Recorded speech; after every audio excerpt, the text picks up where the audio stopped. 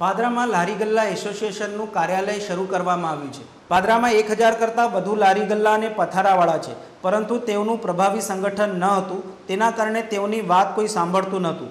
જેમાં થોડા સમયથી સંગઠનનો વ્યાપ અને કામ વધતા સમસ્યાઓ આવતી થઈ અને લોકોને એકબીજાને મળવા માટે કોઈ સ્થાન ન હતું. જેથી તેના આગેવાનોએ પાદરા નગરપાલિકાની જગ્યા જે ફૂલબાગ રોડ ઉપર છે ત્યાં રવિવારના રોજ કારોબારી ચેરમેન સંજય પટેલ, ઉપપ્રમુખ સચિન ગાંધી દિલીપભાઈ વાળંદ સહિતના પાલિકાના સદસ્યોના પ્રમુખ સ્થાને ઉદ્ઘાટન કરવામાં આવ્યું હતું, જેમાં સદસ્યોએ લારી ગલ્લાવાળાઓને તંત્રને સહકાર આપીને રોજીરોટી કમાવાની શીખ આપી હતી.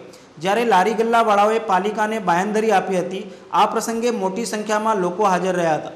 પાદર શહેર લારી ગલ્લા આજે કરવામાં આવ્યું છે. નગરપાલિકા તમામ પદાધિકારી કોંગ્રેસના એડવોકેટશ્રીઓ બધા અમારા શુભેચ્છકો જો આજે કાર્યાલય ચાલુ થયું છે.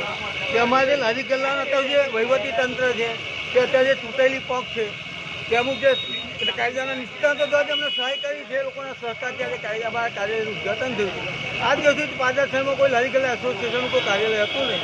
ત્યાં સ્થાનિક વહીવટી તંત્રના સહકાર કાર્યાલયમાં ખુલ્લું મૂક્યું છે. જેથી નાના મોટા કોઈ પણ લારી કારની સમસ્યા હોય, જે આ કાર્યાલય પાસે અમે રજૂઆત કરી શકે જેનો અમે યોગ્ય યોગ્ય નિર્ણય લઈ શકે એટલે આ કાર્યાલય આજે શરૂ કરવામાં આવ્યું છે પાદર શહેરમાં